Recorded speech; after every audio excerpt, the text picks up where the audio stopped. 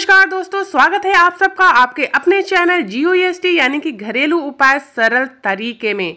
दोस्तों, आज के वीडियो में मैं आप सभी के लिए एक ऐसी कमाल की रेमेडी लेके आई हूँ, जिससे आपकी सालों पुरानी, कितनी भी पुरानी आपकी झाइयाँ हो, वो बिल्कुल खत्म हो जाएँगी, दूर हो जाएँगी। दोस्तों, अब आपको महँगी महँगी दवाइयाँ क्रीम खरीद कर लगाने की या खाने की कोई ज़रूरत नहीं है। बस जो मैं नुस्खा बता रही हूँ, वो आप करिए, आपकी झाइयाँ बिल्कुल सही होंगी।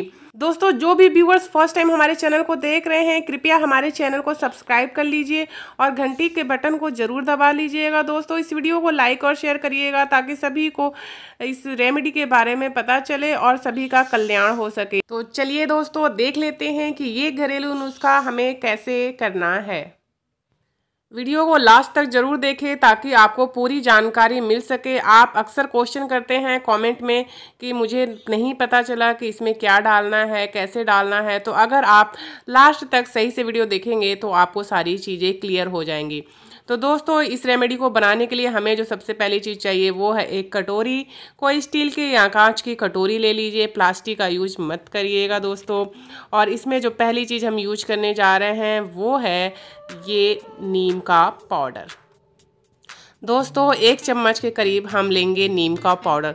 दोस्तों, इसको नीम का पाउडर ख़रीदा हुआ बिल्कुल भी नहीं है ये।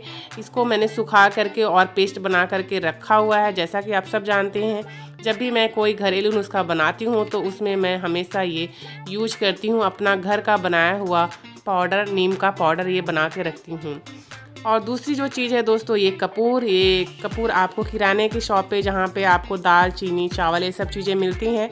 वहाँ से आपको मिल जाएगी ये वही कपूर है जिससे पूजा की जाती है। इस कपूर को दोस्तों हमें अच्छी तरह से कूट लेना है और इसको एक बारीक सा, एकदम फाइन सा पाउडर बना लेना है। पाउडर फॉर्म में होना चाहिए। तो चलिए इसको हम कूट लेते हैं अच्छी तरीके से।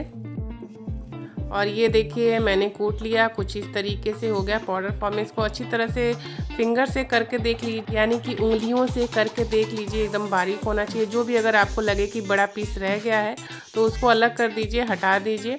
और अगर डाल भी देते हैं तो उससे कोई नुकसान नहीं है, क्योंकि ये धीरे धीरे गल जाते हैं इसके अंदर। दोस्तों, कपूर जो है किसी भी तरह के निशान को हटाने में काफ़ी कारगर साबित होता है। बहुत पुराने ज़माने से कपूर का यूज़ किया जाता है। दोस्तों, अब ये दोनों चीज़ें हमने मिक्स कर ली हैं, यानी कि मिला ली हैं। अब इनको हमें एक स्मूथ सा पेस्ट बनाना है। इसके लिए हम यूज़ करेंगे गुलाब जल का। गुलाब जल से आप पेस्ट बना सकते हैं। अगर आपके पास गुलाब जल नहीं है तो घर में खट्टी दही होगी तो खट्टी दही का यूज़ भी आप इसका पेस्ट बनाने में कर सकते हैं, जो जिससे आपको बहुत ही अच्छा रिज़ल्ट मिलेगा। तो आप एक बार में सारा नहीं डालेंगे, चाहे आप दही से बना रहे हों या गुलाब जल से तो आप थोड़ा थोड़ा डाल के बनाएँगे। और जैसे जैसे पानी सूखता जाएगा वैसे वैसे आप इसमें और दही या ये गुलाब जल इसमें मिलाते जाएँगे। तो इस तरह से ये एक गाढ़ा पेस्ट बन करके आपका तैयार हो जाएगा। और इसको पेस्ट बनाने के बाद आपको इसको तुरंत नहीं लगाना है चेहरे पे। इसको कम से कम 10 मिनट के लिए छोड़ देना है। और 10 मिनट छोड़ देने के बाद ये देखिए कुछ इस तरह से हो जाएगा। और उसके बाद अब हम इसे यूज़ करेंगे अपने चेहरे पे। तो मैं आपको हाथों पे लगा के दिखाऊँगी कि किस तरह से आप समझ लीजिए आपका ये चेहरा है और इस पर आप इस तरीके से लगाएँगे। अपनी उंगलियों से लगा सकते हैं। अगर आपके पास ब्रश है तो आप ब्रश की सहायता से भी अपने चेहरे पे लगा सकते हैं। इस तरह से दोस्तों, अच्छी तरह से पूरे चेहरे पे फैला लीजिए, पूरे चेहरे पे लगा लीजिए और आप इसको आधे घंटे के करीब अपने चेहरे पे रहने देंगे। आधे घंटे रहने के बाद से आप आधे घंटे से ज़्यादा भी रखना चाहें तो रख सकते हैं, इसका कोई नुकसान नहीं होगा।